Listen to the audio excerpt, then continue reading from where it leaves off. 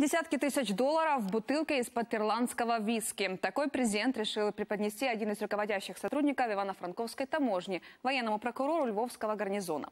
Подарочек на миллион гривен в пересчете на украинскую валюту предназначался за содействие в закрытии уголовного дела о коррупции на Львовской таможне.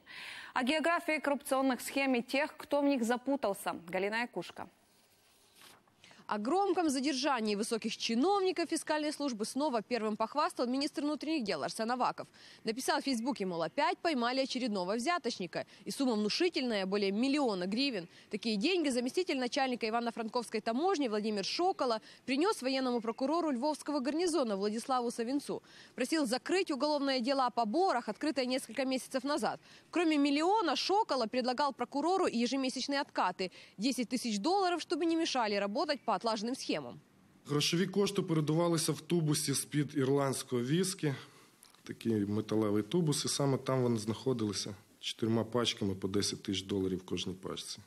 Уголовное дело, о котором идет речь, открыли еще 19 января. Тогда на взятки в 15 тысяч долларов задержали исполняющего обязанности замначальника Львовской таможни. Суми були різні, були від, е, від тисячі доларів, дві тисячі доларів, 500 доларів, хто скільки е, Вимагав. Безпосередньо він напряму гроші від підлеглих не брав. Він е, визначав певну особу, яка також працювала на львівській митниці, яка повинна була в певний час, в певний період е, об- обійти всіх, е, весь особовий склад, можна так сказати, і е, зібрати певну е, е, данину.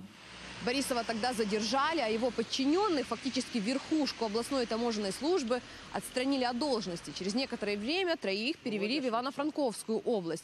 Владимир Шокола был назначен ИО первого зама начальника. Сам же начальник Ливко Прокипчук, тоже бывший коллега по Львовской таможне. И, судя по всему, схему сбора дани они организовали и на новом месте.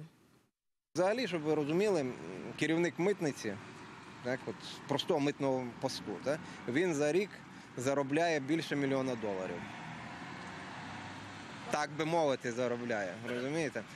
Е, Простий митник заробляє теж від 200 до півмільйона. Я вже не говорю про більш серйозні масштаби. Хабарі, що на митниці, що в податковій, що в інших правоохоронних органах вони бралися і будуть братися, тому що жодна правоохоронна структура у нас не реформована.